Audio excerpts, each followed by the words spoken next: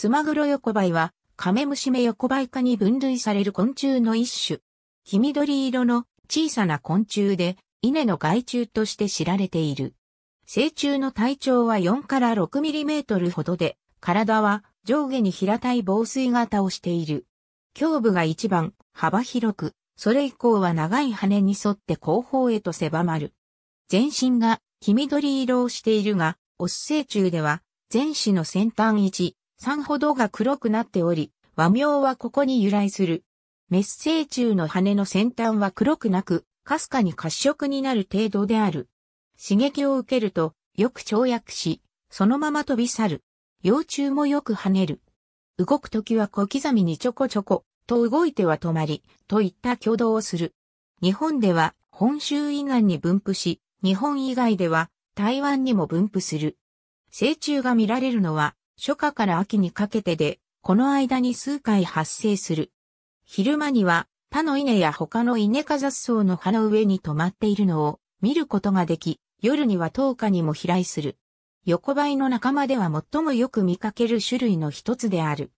交尾を終えたメスは、稲科植物の茎に産卵管を差し込んで産卵し、幼虫も稲科植物の葉の上で見られる。幼虫、成虫とも稲の茎などに興奮を差し込んで飼料を吸う。ほか、萎縮病、後遺病など稲の伝染病を媒介するので、害虫として扱われる。ただし、1970年代以降は以前ほど病原体の保有率が高くなくなったので、害虫としての有害性ははるかに低くなったとの意見も聞かれる。また、夜間に明かりに集まった時、人の肌を興奮で刺すことがある。それほど痛むものではないが、嫌われる。関東地方の一部では、バナナ虫という俗称もある。同属の近縁種としては、クロスジツマグロヨコバイ N. nigropictus や、タイワンツマグロヨコバイ N. virescens が、南日本以南に知られる。いずれもツマグロヨコバイに似て、余分に斑紋がある。